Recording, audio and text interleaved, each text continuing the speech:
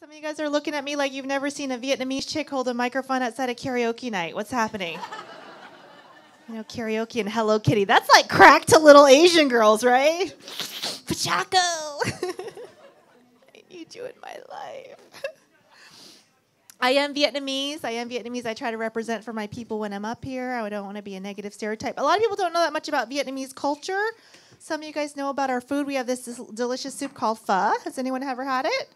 Yeah, right? Okay, some of you aren't clapping. For those of you who don't know, we take all the weird stuff on the cow white people don't want to eat and we put it in a soup. The lower the number on the menu, the weirder the item. Number 37 is just beef tongue. It's delicious. So good. Oh, come on, Mexicans. You know what I'm talking about. It's like menudo. Don't. You guys are staring at me. yes, I'm married too. What's up? I trapped a man. I'm excited, right? It's great. I love my guy. A lot of people talk smack about marriage, right? They'll be like, the romance ends when you get married. The romance ends. I have found the romance actually increases. It's true, guys. Marriage turns women on. If you want to get a girl turned on, propose to her right? You get down on one knee, we'll get down on two.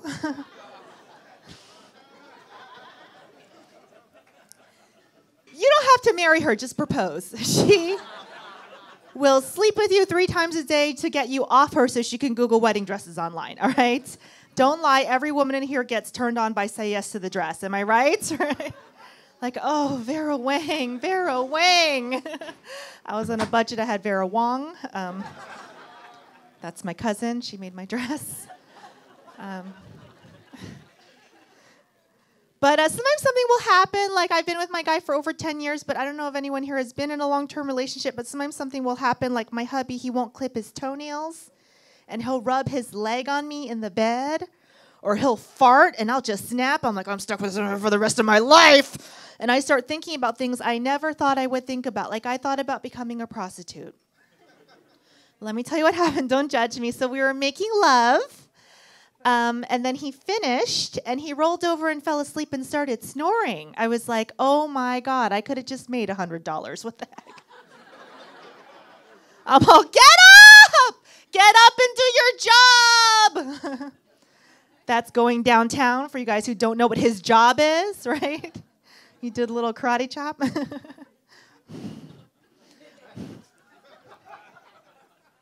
All right, a lot of guys here don't go downtown. That's great.